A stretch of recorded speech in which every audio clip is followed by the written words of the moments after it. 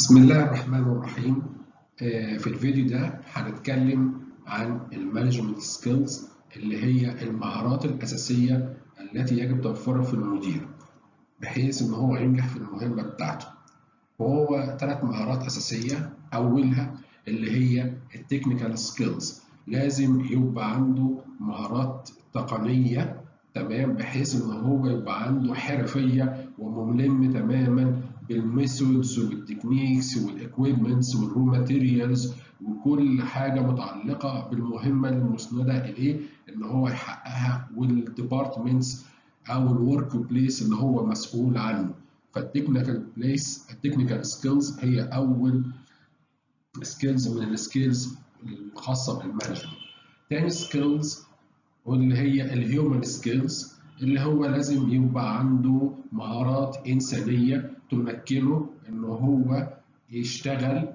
مع ويحقق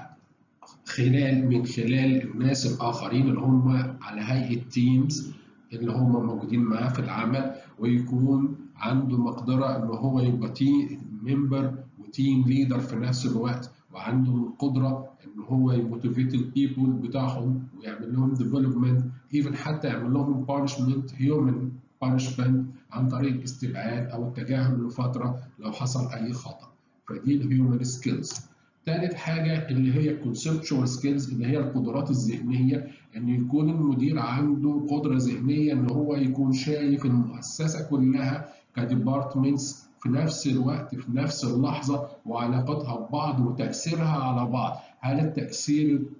على department معين أو قرار معين في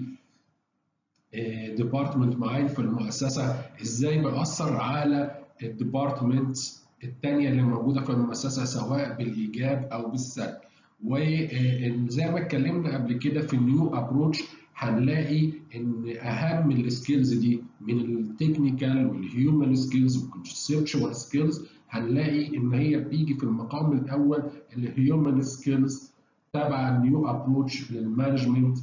لأن زي ما اتفقنا قبل كده إن أهم asset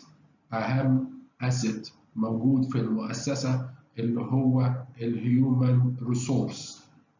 فبالتالي بتيجي ال human skills رقم واحد في الثلاثه skills بعد يجي بعد كده ده يجي اللي هو ال conceptual وال technical